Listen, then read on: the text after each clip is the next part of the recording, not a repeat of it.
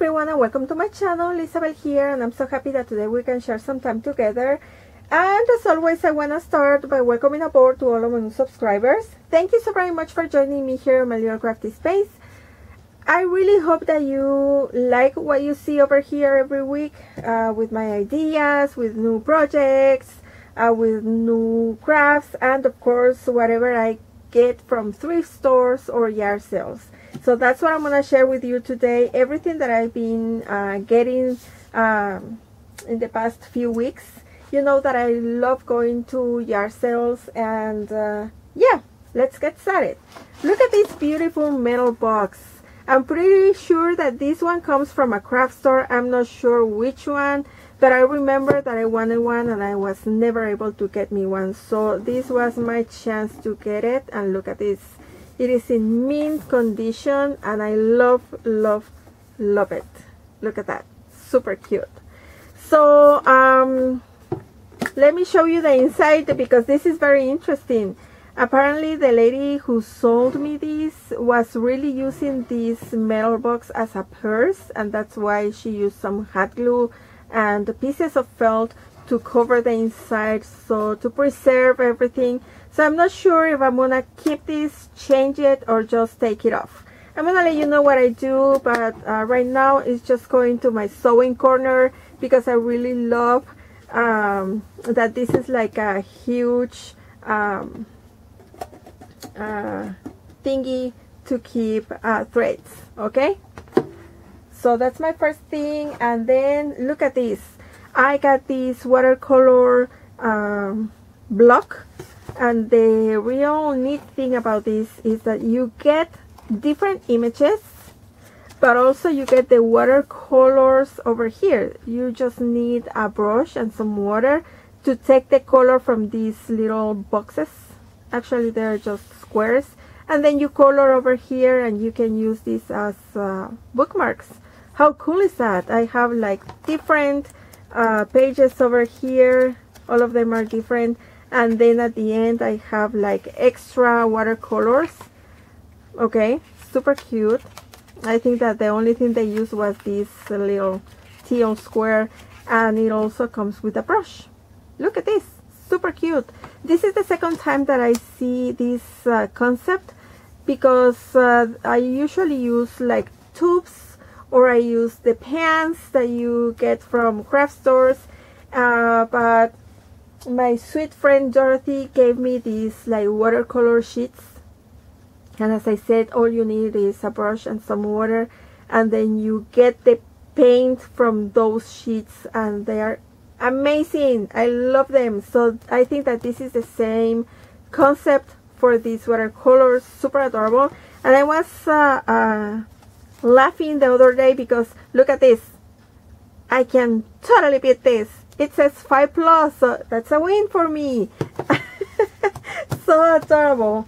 I also found some rickrack. And look at this. I already opened the little baggies because I don't want you to be dealing with the uh, annoying glare. But look at this. This is totally vintage, I think. Uh, this is plain white and I love it. Usually I use this rickrack as tag toppers because I think they are, I love adding different textures and uh, colors and everything. And look at this. This one has glitter. Woohoo! So cute. I love it. And my favorite one, let me tell you. Yes, I love these white ones. But I found this one that I have never seen before. And it comes with all the colors in one huge long strip. How cool is this? I love it. Love it love it love it. Totally uh, to be used maybe for Easter? I don't know. Super super cute. Then I found this adorable jar and look at this. This, this is like a gummy bear.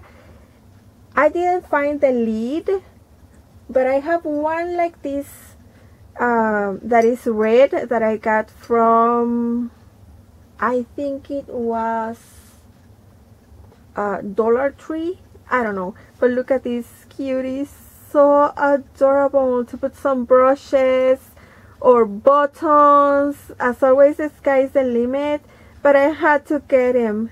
He was all alone in a box, and I said, okay, it's going with me, and I love it. Especially because it's made out of glass, and that is a bonus. I love it. Then I found uh, these uh, Japanese wooden spoons so I'm thinking that they use them to get like the loose leaf tea. I don't know, but I just love the color of the wood and how well finished they are.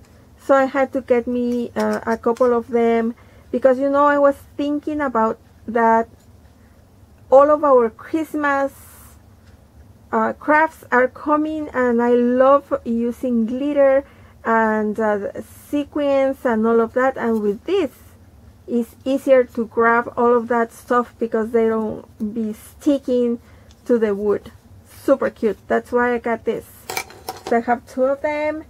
Actually I got three of them. Look at this one. This is just a piece of uh, bamboo.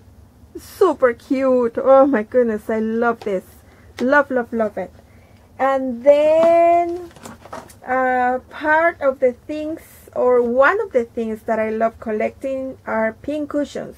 Not only the ones that I uh, pick from yard sales usually or the thrift store, uh, but also I have made uh, some that I really love and I keep them in a special box. I think that is going to be another video and that's a very nice idea.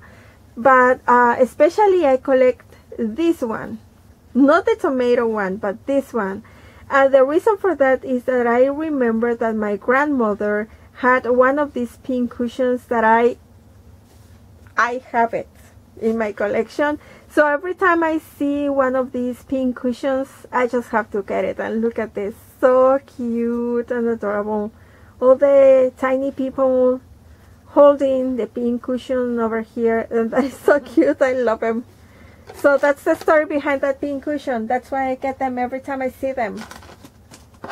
And of course I got to uh, to get me this bag full of seashells. Uh, I have quite a collection of huge seashells. And uh, but look at these they're um, they're smaller and they have some colors and I just love them. They look amazing. So I had to get me this box this bag of seashells. And uh, I was able to find this other one. And look at this. I remember that I grabbed uh, it, they're like tiny purses or trinket boxes and I grabbed one like this several years ago. And a couple of years ago I created a mini book to go inside that one that is uh, I think it's brown and beige but look at this one super cute and adorable. And so of course I had to get it and uh, I will be probably creating something cute not a mini book because I already have one but something else. But this is so adorable. I wonder how this is made. I wish I could make this with all of the seashells that I have but oh my goodness this looks like another level so no. Out of the question totally. And of course you know that I'm always with my eyes open and every time I see something gingerbread I have to get it.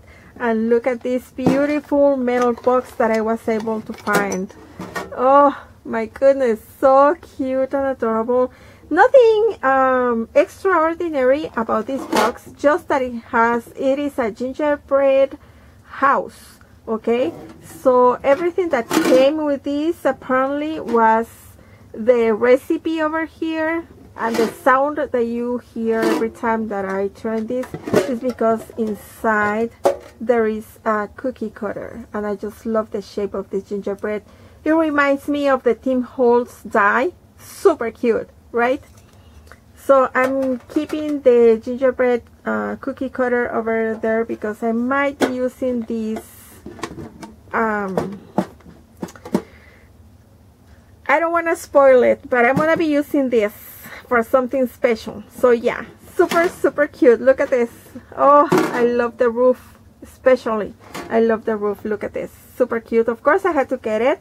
So two metal boxes this time. and I also um, you know what? I need to um, make some space over here. So let me put this all of this. Oh already find something to put inside the um, little bear. And I'm gonna put the house over here. And look at this look at this beautiful book.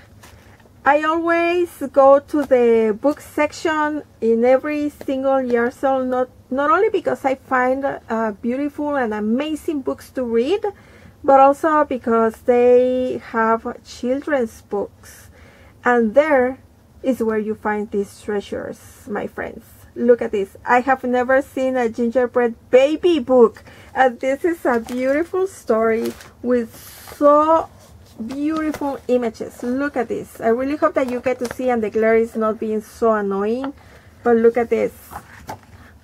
Oh look at this. So cute. Look at this. This is giving me ideas for christmas cards or tags. So cute. Look at this. So adorable. Oh my goodness. Look at this. Look at this look at this. Oh my goodness i love it. So this book is perfect to keep outside and near my table uh, when Christmas crafting because this is so much inspiration is making my heart burst with happiness. And uh, it's so adorable. I just love everything about this book. So look at that. I have never seen this book before but I just love love love it.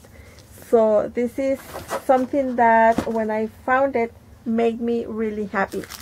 And last but not least ta-da! This is going to be huge and I'm so sorry that you won't be able to look at all of it. But look at this beautiful bag that I found on a yard sale. This is a vintage train case. I'm guessing. And look at the hinges. Oh look how beautiful is in the inside. Look at that. Look at that.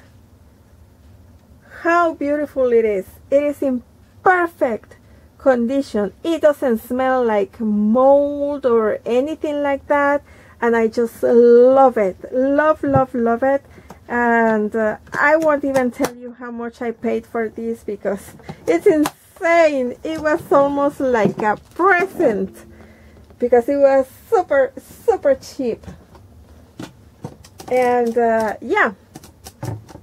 These are my shares for today ladies. This is everything that I've been getting from yard sales and I just wanted to share this with you because I mean this is so cute I hope that you also love going to yard sales because trash for some, treasure for others, and that's my philosophy. And I love going, uh, looking and hunting for treasures, and I'm so very happy with all of these findings.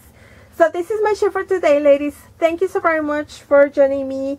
I will be back very soon, but in the meantime, please take care of yourselves. Remember to always have a huge smile, and I will be back very soon, okay?